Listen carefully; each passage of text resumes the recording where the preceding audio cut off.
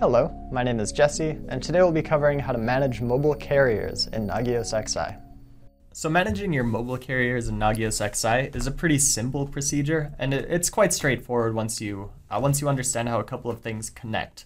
But there are a few videos that I do recommend watching first. Those two videos are configuring notification preferences in Nagios XI and using different notification methods in Nagios XI recommend watching those two videos first and then watching this one just so you understand exactly what we're configuring when we're talking about mobile carriers. So to get started, let's go to admin and then we'll go to manage mobile carriers. And it's important to understand what exactly mobile carriers are used for.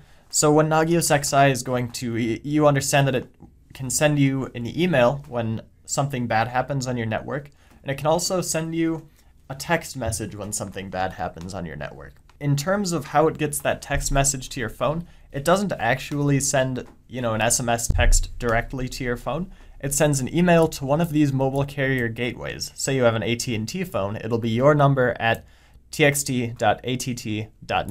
Then that email is translated by whatever system this is into a text message and sent to your phone. So that's how Nagios XI can get text messages to your phone is through these gateways. If you have a custom a phone carrier that you need to define, one that's not included by default on our list, feel free to define it here and just be aware that this address here down in the email to text address format column, this will need to be the email to text gateway for your carrier and they will need to provide one of those to you. So just, just something to be aware of. So in terms of describing what this format means, you'll notice that there's a number macro inside of the email to text address format and that uh, that prefaces the actual domain. So this number, where does it come from? That's the question, and it's easily answered by clicking on your user account. So go to the top right-hand corner of Nagios XI, and I'm just going to open this in a new tab. And we'll go to the Nagios admin account information page, click on notification methods, and go to mobile text. Once you're at mobile text, you'll notice that you have a mobile phone number defined.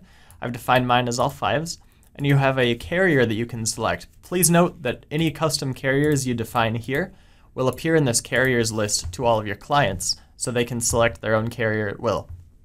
So if I selected, for instance, AT&T and hit update settings, if my user were to get a text message from Nagios XI, the formatting would fill in this number in place of the number macro. So it would fill in my number here, and then it would send the email to this address. And that's how Nagios XI alerts are translated from emails into text messages. And I, I just really wanted to cover how these two things kind of connect together and how to define your own custom mobile carriers and how your users would be able to, uh, to make use of that. So when you define a, uh, a custom mobile carrier in the email to text address format area, be sure to use this number macro, otherwise uh, things can go wrong. So that's just something to be aware of wanted to show you how that all uh, connects together.